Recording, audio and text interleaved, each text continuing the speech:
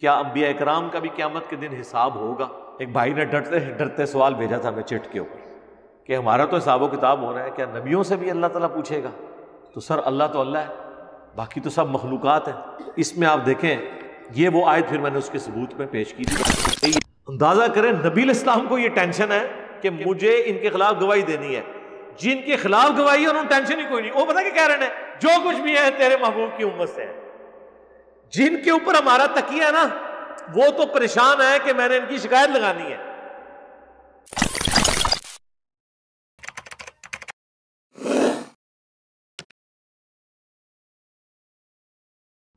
کیا انبیاء اکرام کا بھی قیامت کے دن حساب ہوگا؟ ایک بھائی نے ڈرتے ڈرتے سوال بھیجا تھا ہمیں چٹ کے اوپر کہ ہمارا تو حساب و کتاب ہو رہا ہے، کیا نبیوں سے بھی اللہ تعالیٰ پوچھے گا؟ تو سر اللہ تو اللہ ہے، باقی تو سب مخلوقات ہیں۔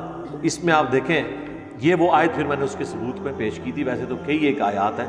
سو ہم ضرور پوچھیں گے ان سے جو بھیجے گئے تھے، جن کی طرف یعنی جو امتیں تھیں، ان سے ہم پوچھیں گے۔ وَلَنَسْأَلَنَّ الْمُرْسَلِينَ۔ اور ہم ضرور پوچھیں گے رسولوں کو۔ یعنی امتوں کی بھی جواب دہی ہوگی کہ تم نے پیغمبروں کی دعوت پہ لبئی کہا یا نہیں کہا۔ اور پیغمبروں سے بھی اللہ پوچھے گا کہ تم نے ہمارا پیغام پہنچایا یا نہیں پہنچایا۔ یعنی دونوں کا حساب۔ صرف امتیوں کا نہیں ہونا، پیغمبروں کا۔ حالانکہ اللہ کو تو پتا ہے کہ پیغمبروں نے پہنچا دیا، امتوں نے قبول نہیں کیا سوائے چاند ایک لوگوں کے۔ لیکن پھر بھی حساب و کتاب تو ہونے اور بلکہ انبیاء اکرام نے پھر امتوں کے حق میں یا ان کے خلاف گواہی دے دی۔ اسی کانٹیکسٹ میں وہ آیت ہے نا، سورہ النساء کی آیت نمبر 41 جو بخاری و مسلم دونوں میں حدیث ہے اس کانٹیکسٹ میں، کہ عبداللہ ابن مسعود کہتے ہیں کہ نبی صلی اللہ علیہ وآلہ وسلم ممبر پہ تھے۔ اور آپ نے مجھے اپنے قریب بلایا اور کہا، عبداللہ، آؤ ہمیں قرآن سناؤ. کہتے ہیں، میں نے عرض کیا، اللہ کہ نبی علیہ السلام، قرآن تو آپ پہ نازل ہوا ہے، میں آپ کو قرآن سناؤں. تو آپ نے فرمایا، مجھے دوسروں سے قرآن سن کر لطف آتا ہے. تو عبداللہ ابن مسعود رضی اللہ تعالیٰ عنہ کہتے ہیں کہ، میں نے صورت النساء کی تلاوت شروع کی. اب حضور علیہ السلام کا شوق دیکھیں صورت النساء سٹارٹ ہوئی ہے اور آیت نمبر 41 تک پہنچ گئی ہے۔ جب یہ آیت آئی نا، فَكَيْفَ اِذَا جِئْنَا مِن كُلِّ أُمَّةٍ بِشَهِيد۔ وہ کیسی کیفیت ہوگی، وہ کیا حال ہوگا جب ہم ہر امت میں سے ایک گواہ کو اٹھائیں گے یعنی وقت کے پیغمبر کو۔ وَجِئْنَا بِكَ عَلَىٰ هَا أُولَاءِ شَهِيدًا۔ اور اے نبی، ہم تمہیں گواہ اٹھائیں گے ان کے اوپر یعنی اپنی اس امت کے اوپر۔ ظاہر اس وقت تو مشرقین عرب ان کے حوالے سے ویسے پوری امت کے اوپر۔ تو وہ کہتے ہیں جب میں اس آیت پہ پہنچا نا تو نبی علیہ السلام نے کہا، عبداللہ بس کرو بس کرو۔ تو کہتے ہیں میں نے نگاہ اٹھا کے دیکھا تو اللہ کے نبی علیہ السلام کی آنکھوں سے آنسو رواں تھے کہ مجھے اپنی امت کے خلاف گواہی دینی وقال الرسول، یا رب ان قوم اتخذوا هذا القرآن محجورا رسول اللہ شکایت کریں گے کہ اے اللہ، میری قوم نے قرآن کو پیٹ کے پیچھے ڈال دیا۔ اندازہ کریں، نبی الاسلام کو یہ ٹینشن ہے کہ مجھے ان کے خلاف گواہی دینی ہے۔ جن کے خلاف گواہی ہے انہوں ٹینشن ہی کوئی نہیں۔ وہ پتا کہ کہہ رہے ہیں؟ جو کچھ بھی ہے تیرے محبوب کی امت سے۔ ہے جن کے اوپر ہمارا تکیہ ہے نا، وہ تو پریشان ہے کہ میں نے ان کی شکایت لگانی ہے۔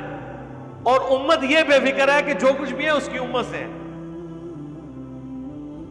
جو بخاری مسلم دونوں میں حدیث ہے نا، نبی الاسلام نے زکوٰۃ کے کانٹیکسٹ میں فرمایا کہ دیکھنا، ایسا نہ ہو کہ قیامت والے دن کسی کی گردن پہ اس کا اونٹ سوار ہو جس کی اس نے زکوٰۃ دنیا میں نہیں دی تھی۔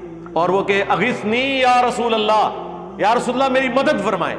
میں تمہاری کوئی مدد نہیں کر سکوں گا۔ میں نے دنیا میں اللہ کا پیغام تم تک پہنچا دیا۔ ایسا نہ ہو کسی کی گردن پہ گائے سوار۔ اور وہ کہ اغیثنی یا رسول اللہ. یا رسول اللہ، میری مدد فرمائے۔ میں تمہارے کچھ کام نہیں آؤں گا۔ میں نے دنیا میں اللہ کا پیغام تم تک پہنچا دیا تھا۔ پھر آپ علیہ السلام نے ایک ایک چیز گنوائی اس حوالے سے۔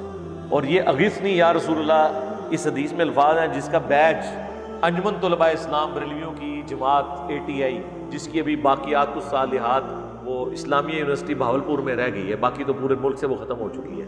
ہم بھی بچپن میں لگایا کرتے تھے۔ اغیثنی یا رسول اللہ، یا رسول اللہ میری مدد فرمائے۔ یہ پوری حدیث ہے کہ جدو اسی کما گے نا اللہ نبی کہیں گے، میں نے تیرے کوئی کام نہیں آنا، میں نے دنیا پیغام پہنچا دیا تھا۔ یعنی آپ دیکھیں، بات جدھر یہ موجود ہے، کچھ اور اس میں لکھا ہوا ہے۔ انہوں نے کچھ اور نکالا۔ مسور الشعراء کی آیات نازل ہوئی نا کہ آپ اپنے قریبی رشتہ داروں کو ڈر سنائیے۔